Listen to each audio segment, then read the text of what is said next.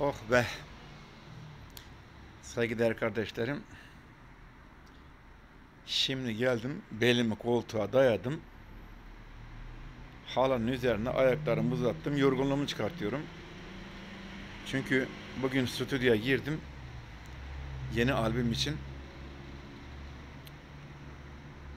gitarları çaldırdık.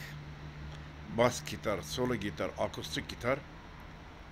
Ne de olsa 3-4 saat uğraşıyorsunuz. Sesler kulağınızda bam bam bam patlıyor. Ve de yoruyor insanı. Onun için geldim böyle en tabi şekilde uzandım yere. Omuzlarımı da ya da belimi de koltuğa dayadım. Tele 1'de haberleri, ilginç haberleri seyrediyorum. Hem ne kadar gerçek haberleri. Artık yarın sabah da yukarıda odamdaki stüdyoma çıkacağım. O yaptığım çalışmaları burada okuyacağım. Provasını yapacağım. Dedim ya daha önce de söylemiştim. Çok masraflı, bir o kadar da güzel bir albüm yapıyorum. İnşallah çıktığında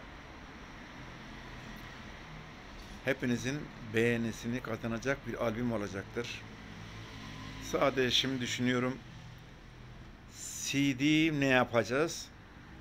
Bütün müzik otoriteleri baba CD yaptığın zaman çok büyük paraya mal oluyor. Oysa CD'ler biliyorsunuz satılmıyor. Çünkü insanlar CD almıyorlar. Dolayısıyla istediğin kadar güzel eser olsun senin masrafını karşılama diyorlar. İyisi mi diyor onları birer tane kliplerini çekerek ayda bir tane çıkaracak şekilde yayınla. Ama tabi albüm çıkana kadar çok düşünme zamanı vardır.